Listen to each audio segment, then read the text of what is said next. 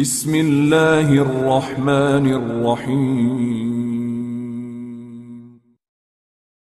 کہ گناہ کرنے سے انسان اپنے آپ سے غافل ہو جاتا ہے۔ پانچویں چیز جو گناہ کرنے کا اثر اور نتیجہ ہوتا ہے وہ یہ ہے، جو ہمیں ملتا ہے وہ یہ ہے کہ گناہوں کی وجہ سے انسان جو ہے پریشان حال اور حقیقی چین و سکون سے میں بے جس کو کہیں گے محروم ہو جاتا ہے۔ انسان گناہ کرنے سے نتیجہ کیا ہوتا ہے؟ گناہوں کی وجہ سے انسان پریشان اور حقیقی اطمینان، سکون اور چین چھین جاتا ہے۔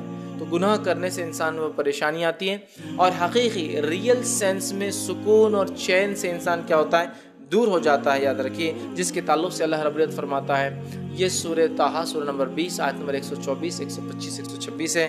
اللہ فرماتا کہتا ہے، وَمَنْ أَعْرَضَ عَنْ ذِكْرِ فَإِنَّ فَإِنَّ لَهُ مَعِيشَةٌ زَنْكَ وَنَحْشُرُهُ يَوْمَ الْقِيَامَةِ أَعْمَى۔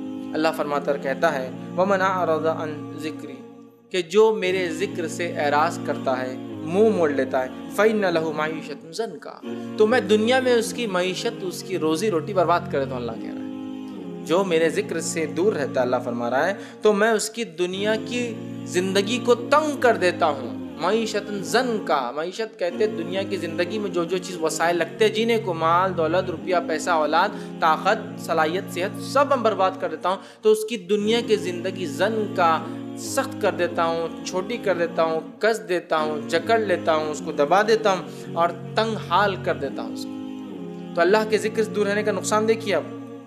اللہ کے ذکر سے مراد اللہ کی کتاب۔ اللہ کے ذکر سے مراد، اس کے دین کے احکامات پر چلنا، اللہ سے ذکر سے مراد ہر کام سے پہلے اپنے رب کو یاد کرنا اور جو اس نے کہا وہ کرنا یہ ہے۔ تو جب کوئی بندہ اپنے رب کے ذکر سے دور ہو جاتا ہے، تو اللہ تعالیٰ اس کی دنیاوی زندگی برباد کر دیتا ہے۔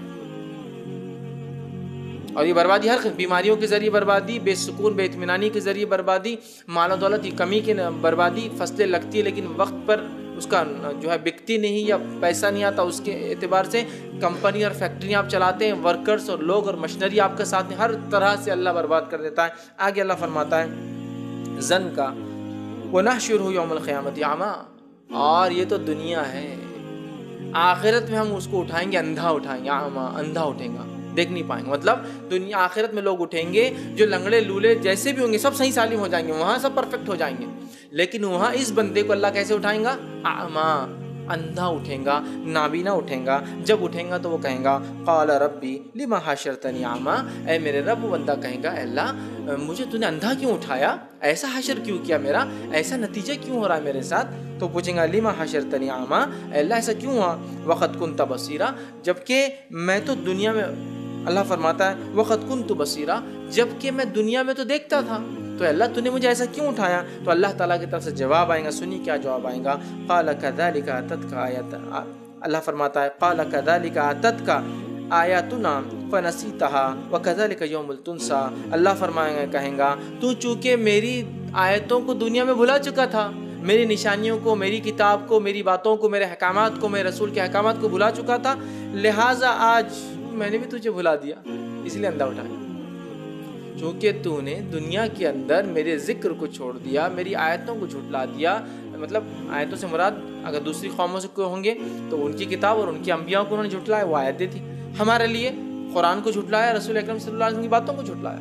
اور قرآن کو جھٹلانا مطلب اس کے احکامات کو جھٹلایا، جو اس نے کہا نہیں کیا، جو حلال کہا، اس کو حلال نہیں مانا، جس سے رکنے کا حکم دیا جس کو حرام کا حرام نہیں سمجھا، کرتے رہا، یہ مانا ہے۔ اللہ فرمائیں گا، چونکہ تو میری آیتوں کو دنیا میں بھلا چکا تھا، آج میں بھی تجھے بھلا چکا ہوں۔ تیری کو ویلیو میرے پاس نہیں۔ اندازہ لگائیے اللہ رب العزت کے سامنے جو لوگ اندھے اٹھیں گے یا پوری قیامت میں لوگوں کے سامنے جو لوگ اندھے اٹھیں گے، لوگ سمجھ جائیں گے یہ لوگ وہ ہے جن کو ان کے رب نے بھلا دیا، چونکہ یہ دنیا میں اپنے رب کو بھلائے ہوئے تھے۔ یہ دنیا میں اسلام پر عمل نہیں کرتے تھے، جو باتیں کہی گئی، حلال کو حلال، حرام کو حرام نہیں سمجھتے تھے، جو حکم دیا گیا کرنے کا نہیں کرتے تھے، جس سے منع کیا، اس سے نہیں رکتے تھے نتیجہ آج ان کو اندھا اٹھایا گیا ہے۔ تو دیکھیے، گناہوں کے محلی کا اثرات، دنیا کی زندگی تنگ ہو جاتی ہے، دل اچاٹ ہو جاتے ہیں اور ایک بے اطمینانی کی زندگی انسان جیتا ہے، جس کے تعلق سے اللہ گواہی دے رہا ہے کہ اس کی ہم کیا کرتے ہیں؟ دنیا کی زندگی معیشت زن کا دنیا کی زندگی سخت کر دیتے ہیں اس کے لیے۔ تو اگر آپ کو اور ہمیں کوئی پریشانی ایسی آ رہی ہے جس میں دنیا کی زندگی میں ہم پریشان ہیں، اچاٹ ہے، دل محروم لگ رہا ہے ڈپریسڈ ہے ہر بار جو ہے غلط خیالات آ رہے ہیں، ہر چیز میں نقصان ہوتا ہے، کام ہوتے ہوتے نہیں ہو پاتا ہے، تو سمجھ جائیے کچھ نہ کچھ گناہ ہم کر رہے ہیں جس کے نتیجے میں یہ ہمارے ساتھ ہو رہا ہے اور دنیا کی زندگی میرے اور آپ کے ساتھ تنگ کر دی جا رہی ہے۔ سمجھ رہے ہیں بات؟